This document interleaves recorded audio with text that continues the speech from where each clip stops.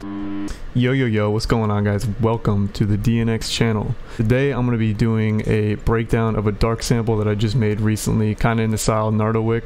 Um, I made this sample recently and I thought it was hard so I figured I'd break it down and show everything I did to make it. Uh, all the sounds I used for the sample are from a bundle I just dropped with two last week. Um, it's got an analog lab bank, a one-shot kit, and a sample pack. But for this video I use sounds exclusively from the analog lab bank and the one-shot kit. Um, so I'll go ahead and leave a link down in the description for that if you're interested. Uh, but anyways, there's a lot of effects and uh, sample manipulation in this video, so hopefully you guys learn something new or take something away. Um, don't forget to subscribe to the DNX channel and let's get right into it. Alright, I got the final sample pulled up here. We're sitting at 160 BPM and the final sample is in C minor. Um, as you can see, I dropped it down three semitones, so that means that we were at D sharp minor when I was making the sample. And at the very end, I pitched it down from D sharp to C. So everything I'm to be showing is going to be in D sharp. And then, like I said, at the end, I, I uh, pitch it down three semitones. But yeah, I'm gonna go ahead and just play the sample so you can hear how it sounds. And then as usual, just go through and break down everything I did to make it.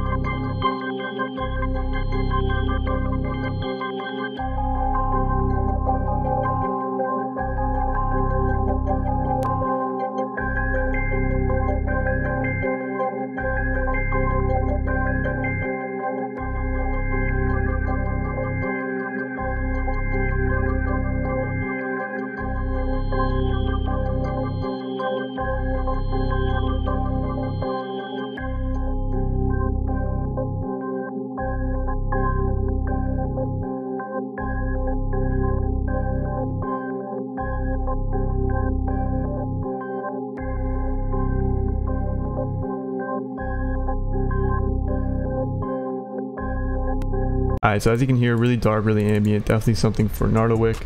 Um, but for the first sound, I pulled up this pad from the Nebula Analog Lab Bank and I came up with this pattern right here. As you can see, it's really repetitive, and that's something that I notice about a lot of the Nardo Wick style melodies is that they're really repetitive. So I came up with this pattern right here. I just have three notes, each at C sharp, so three different octaves with the same note, and then I have notes in between each of those notes, just kind of playing a uh, like I said, a really simple, really repetitive melody. I don't know any music theory, so I can't really explain the music theory behind it. So I just kind of went with what sounded good. I'm gonna go ahead and play it with this wave file right here um, because my computer, as you can see, the CPU is like getting destroyed right now. Um, but yeah, I'm gonna go ahead and play. This is what it sounds like just with no effects or anything like that.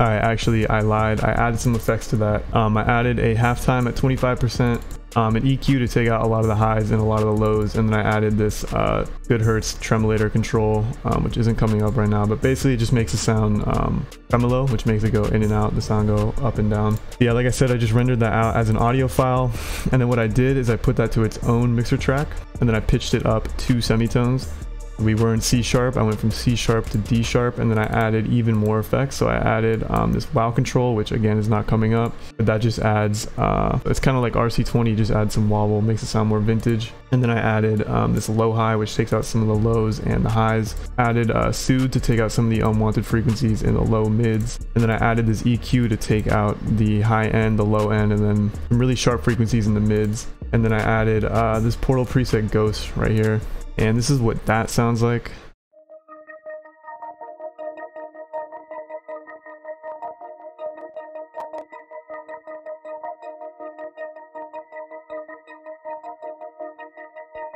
Alright, so for the next sound, I just took this same exact pattern right here and I just copied it over. I pitched it up a whole octave, so we went up 12 semitones right here, and then I put it to its own mixer track.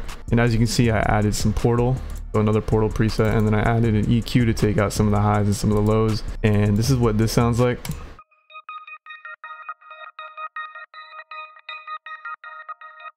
And what I did is I layered it with the original sound so it sounds like this together.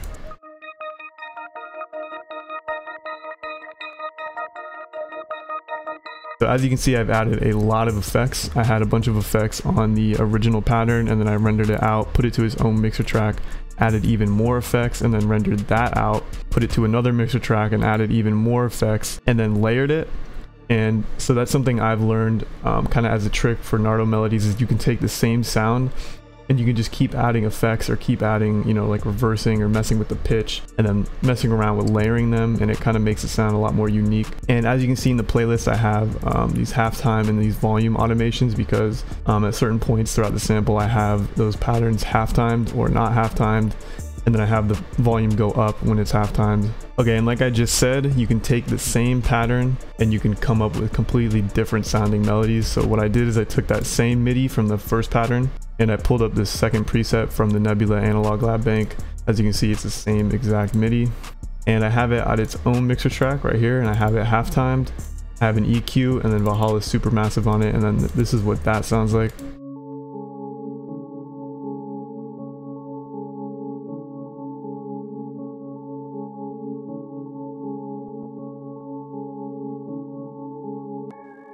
And then as you can see throughout the sample, I have that mixed in with the other two.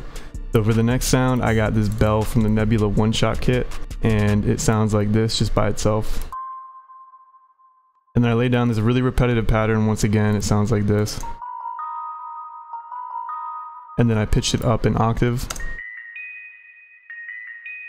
I put it to its own mixer track and I added an EQ to take out the lows and the highs and then I added an RC20 to add some distortion and some wobble to that. And then I added a lot of reverb and a ShaperBox to make it go from left to right. And then again, like I was just explaining, I took the same exact sound, the same exact pattern, and I rendered it out as an audio clip and I just messed around with different effects to make it sound more unique.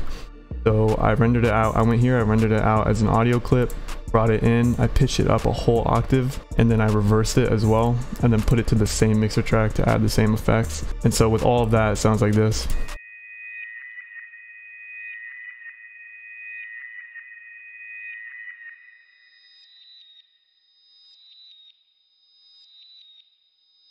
For the final sound in the sample, I have this bass one shot from the same one shot kit.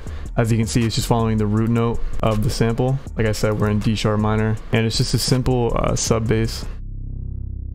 Sounds like that. And then for the effects, the only thing I added was this decapitator preset for some distortion. So once I had all the sounds that I wanted, I just structured out the sample how I wanted. So as you can see, I have different parts throughout the sample. I have um, the first part that doesn't have the um, the first melody that I showed.